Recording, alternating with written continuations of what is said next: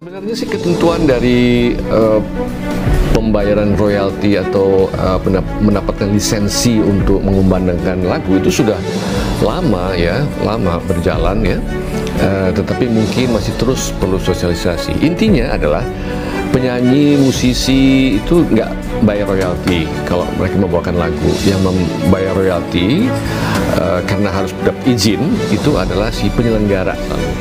Kalau konser tuh adalah promotor atau IO-nya, kalau kafe ya pemiliknya, kalau apa namanya radio televisi ya penyelenggaranya. Itu juga harus bayar royalti. Punya izin harus punya mendapatkan izin dari LMKN izin dari LMKN izin dari kebetulan saya juga jadi pengawasnya gitu.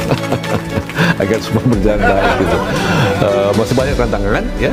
Manajemen yang uh, harus terus kita tingkatkan profesionalisme apalagi daerah daerah-daerah di luar Jakarta juga masih belum banyak yang bayar ya? Dan sosialisasi banyak sekali yang mesti kita uh,